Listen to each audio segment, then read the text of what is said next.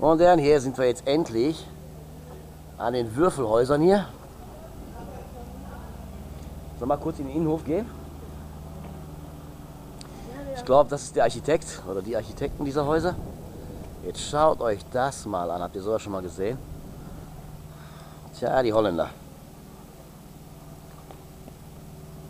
Da stehen die auf so, naja. Na, wer ist das? Alphonse Staller, das ist bestimmt von dem, von dem Theaterdings hier. Haus. Speelhauch. Ist das auch der Komponist? Da ist das Speelhaus, meine Damen und Herren. Ein Haus.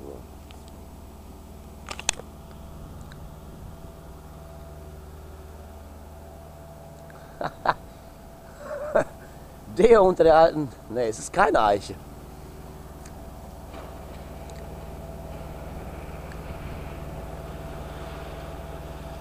Also ehrlich gesagt, ehrlich gesagt ich habe sowas noch nie gesehen.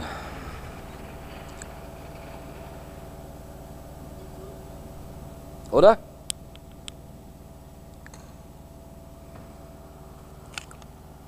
Okay, Dage, ich glaube, das reicht auch.